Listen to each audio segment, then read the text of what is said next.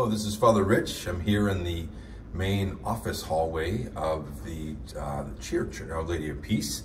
And here in front of the pictures of the pastors, the three pastors who uh, had served here at Our Lady of Peace for at least 10 years. Our founding pastor, Monsignor James Daly, um, who was here, as the plaque says, uh, no, it doesn't say, but he was here from 1957 uh, until 1981.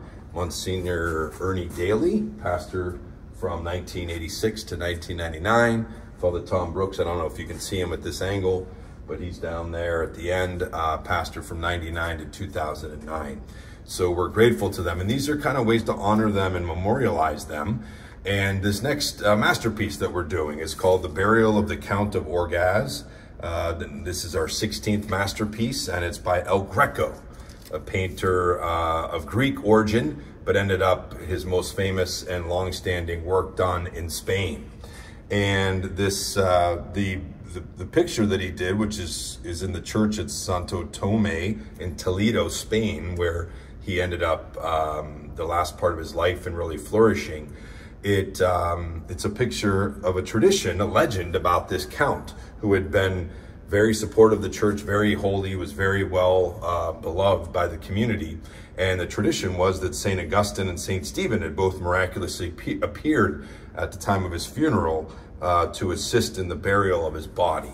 So the actual painting by El Greco depicts that, that moment at the bottom um, with many, of some counts and different noblemen gathered around and the priest at that area. But then up above it has a very kind of mystical, otherworldly, heavenward uh, depiction of the the soul being presented to um, God with Mary there and Jesus, etc. It also has a portrait of the son of the artist um, and as well as a self-portrait. So kind of depicts all kinds of timing. And that's one of the things that they said that El Greco had a knack for doing is really bringing in the past, the present, the future, the otherworldly and this world.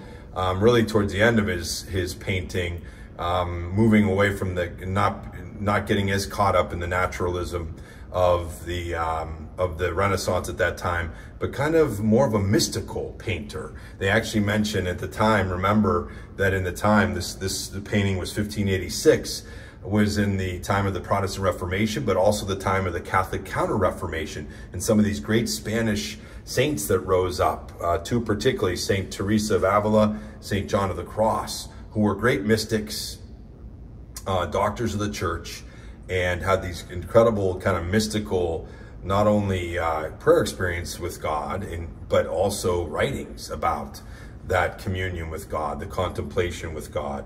And so they don't, we don't know of a direct influence there, but it's hard to suggest that they're not there because there's almost like he, um, he wasn't as worried about depicting what was happening physically, but more about what was happening spiritually in the moment. And um, so that's really a unique element of how he uh, how he drew. They actually mentioned that the the three influences on um, uh, major influences on El Greco were the uh, Venetian painters. When he moved from Greece, he was actually from Greece. His name was, if I can get this, Domenicos Theotokopoulos.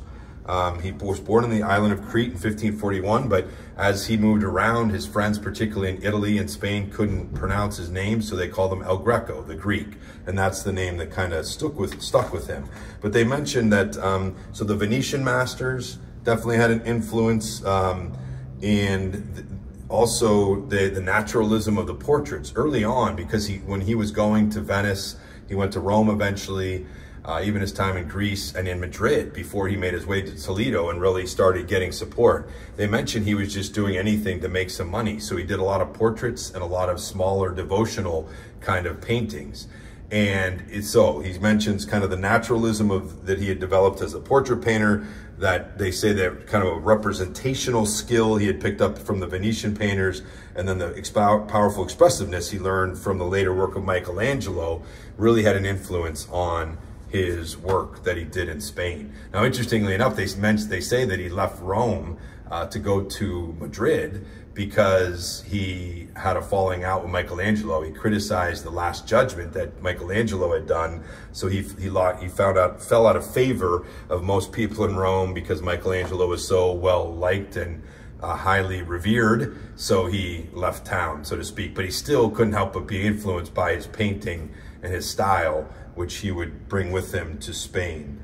Um, so they kind of say that by the time he died in 1614, the, the naturalism of Caravaggio, who we're gonna, the next painting we're gonna do is Caravaggio, um, had had taken over the realism of that, the intense realism, and so the style of El Greco kind of fell out of out of favor by the time he died in 1614. Uh, one of the things that I think of when I see an El Greco or what makes me be able to identify an El Greco, and later on in his painting, he kind of almost made the heads almost flame-like. Everything in the picture kind of has this flame, you know, uh, almost posture of it that kind of feels like it's the Holy Spirit kind of in that kind of mystical sense of the spiritual.